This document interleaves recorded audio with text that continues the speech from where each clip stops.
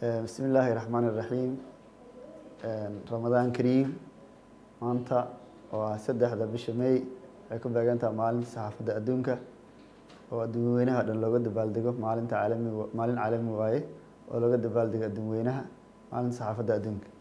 Waxaan leeyahay saxafiyiinta soomaaliyeed hambalyo hambalyo waxaan ugu hambalyeynayaa sanad guurada saddexda may labada kun iyo labaatan saxaafiyiinta soomaaliyeed waan ognahay saxafiyiinta adduunka meesha ugu jiraan waxay ku soo shaqeeyeen marxala marxalado adag oo aan ay adag tahay si looga soo gudbo.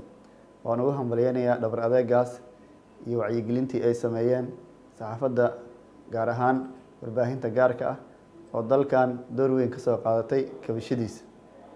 Sidoo kale waxaan rajeynaa inay sanadkan aan ku jirnay labada kun iyo labaatan oo jiraan cudurrada faafa khaasatan cudurka covid nineteen inay qeybtooda ka sii qaadan doonaan wacyigelintii lagu yaqaanay.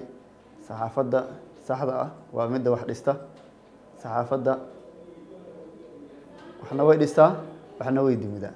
Waxaan rajeyneynaa saxafiyiinteena soomaaliyeed inay dhanka dhisitaanka ama kabashada wadankeena ama dib u soo kabashadiisa ay qeyb weyn ka qaataan ay ka shaqeeyaan sidii lagu yaqaanay saxafiga iyo askariga waa isku mid waxay u taagan yihiin qarankooda. Ayagaa dumi kara wadankan ayagaana dhisi karo. Waxaan leeyahay mar kale iyo mar labaad iyo mar saddexaadba hambalyo hambalyo